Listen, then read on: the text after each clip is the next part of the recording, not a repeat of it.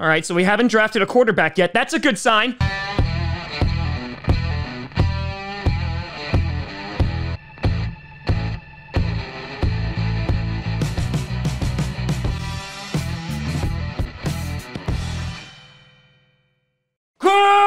Crossy Bossy Packer Nation. Welcome to another episode of Packast, the podcast where you don't have to be a Packers fan, but it sure does help. I'm your host, Tom. Kenny Clark's got a friend, Grossi.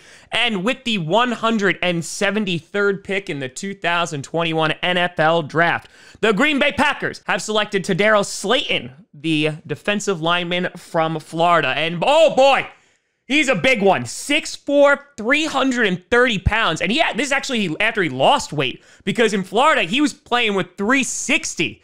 He can, he can go all the way around. So let's jump into his stats from 2017 to 2020. Played 45 games, had 35 solo tackles, 10 for a loss, three and a half sacks, one interception, and one pass defended. The positives about him is that he has a lot of power, a lot of strength. Obviously, he has the frame to be a defensive lineman to literally just sit there and be like, no, you shall not pass. In addition, why I really like this pick is because, as I've said in numerous occasions, the Packers need defensive line help. Someone needs to go next to Kenny Clark. Now, I will say, is it going to be Slaton?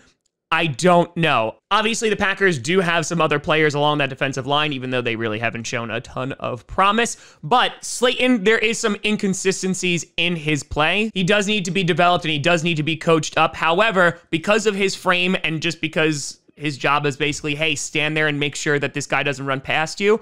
I hope that he can do that job. And this draft class was pretty weak at defensive tackle, so I, that's why I really only looked at Christian Barmore for potentially getting him in the first or the second for the Packers, because then that would be a legitimate guy that you could put next to Kenny Clark. Here, I'm not saying he's going to be a day one starter, but again, when we're starting to get into these later picks, you're really just hoping you hit on one. And this pick just reinforces the theme of this year's draft for the Packers. It's, hey, we have positions of need let's fill them. It's not flashy, it's not crazy, it's just we need to plug the holes. And Slaton helps in that way just a little bit more. But let me know what you think down in the comments below. You happy about this pick? How do you feel about the Packers draft so far? We'll be doing the next video on the corner that we just drafted momentarily. You guys find me at TomGrossiComedy.com or at all social media see down below. Check out Packast on SoundCloud, iTunes, Google Play Music, Spotify, and of course YouTube. And a big shout and thank you to all the patrons over at patreon.com slash TomGrossiComedy and the YouTube members. But thank you so much for watching.